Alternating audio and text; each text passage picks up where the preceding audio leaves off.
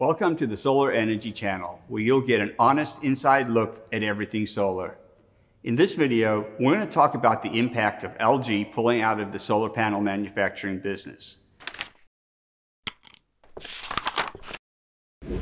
I'm Warren. And I'm Larry. And before we begin, be sure to like this video and subscribe to our channel so that you'll be notified when we make more content just like this. So Larry, can you give us a brief understanding of what happened with LG?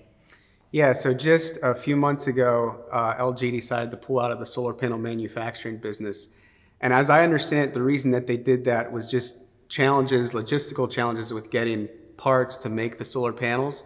And so they decided to make a strategic move and pull out of the, the manufacturing business. And how has that impacted the industry as a whole? Yeah, so it comes at a really challenging time because we already have a limited supply of solar modules because of the potential tariff, particularly a very limited supply of residential solar, solar modules.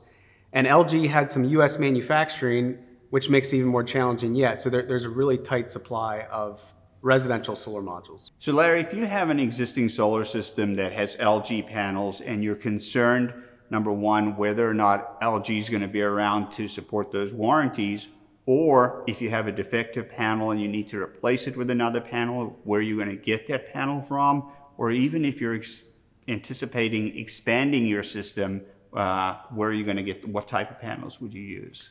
Yeah, so the first thing I would say is if you have LG modules on your roof, don't panic. LG is still a great company, great manufacturer, they're in good financial shape.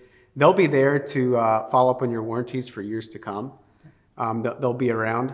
Uh, there are other module manufacturers that produce a similar product. Panasonic is one. REC is one, which we have access to some REC modules. Um, and then I, I, would also recommend Hanwha Qcells, another South Korean manufacturer with some US, uh, some, some manufacturing in the US. Uh, I would recommend their product because they make a similar product to what LG made. And their modules can seamlessly integrate with the LG modules if, if you want to add on. So in summary, LG decided to exit the solar panel manufacturing business for a variety of different reasons.